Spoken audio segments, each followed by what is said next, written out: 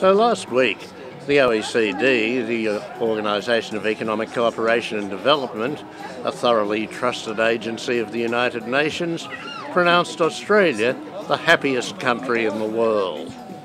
What? Who were they talking to, for God's sake? Haven't they been reading The Australian? Haven't they been talking to Tony Abbott and Joe Hockey? I mean, don't they know that Australia is in dire straits. Australia's in the horrors. Australia is in the brink of disaster. Well, no, of course it isn't. But that is the received wisdom among the electorate, which seems to be among the gloomiest in the world at the moment. Resigned to the fact that they're going to have to elect Tony Abbott because he's the lesser of the hated, but not at all keen on the idea.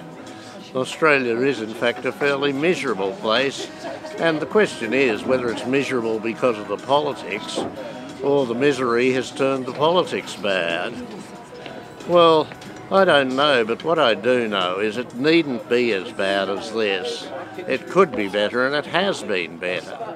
I mean, even before 19, the beginning of 2008, in the early days of the Rudd government, there was a wave of optimism, there was a wave of good feeling about the place. People thought we were capable of just about anything.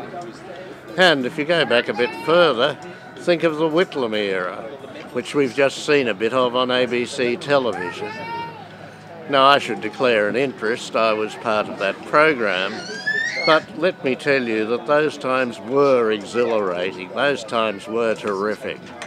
Even the mistakes that were made, and there were plenty of them, even they had a kind of grandeur about them. Nowadays it's become so petty. It's all spiteful. It's all about little issues, things that don't really matter. It's all whinging and bitching and carrying on. A sort of half hearted catfight between people who don't even have the will for a decent stand up stoush. Politics has become debased in Australia, and I don't know what we can do about it except wait and hope for something to come around again.